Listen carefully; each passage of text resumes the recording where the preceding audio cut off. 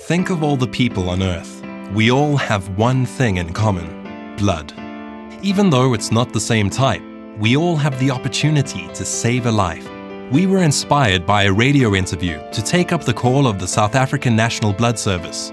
We knew that there was a way to convince the public that blood donations really can save lives. For us, it was all about giving people the opportunity to finish their life stories. The simple truth is, one blood donation can save up to three lives. What started out as a series of print ads depicting a pen running out of ink quickly became a fully integrated campaign. Thanks to the universal insight that if you donate blood today, you can give someone a tomorrow.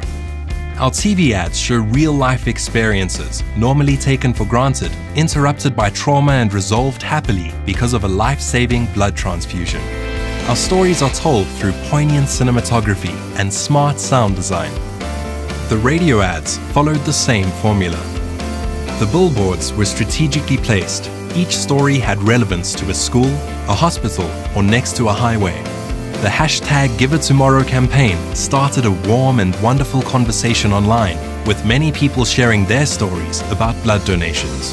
We realized just how committed our blood donors are.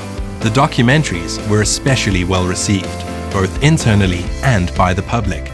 In three months, we reached over 1 million people both online and in real life. But did it save any lives? Since the campaign launch in March 2016, SANBS has received 160,000 usable units of blood. That's 480,000 potential lives that have been touched, nearly half a million tomorrows given.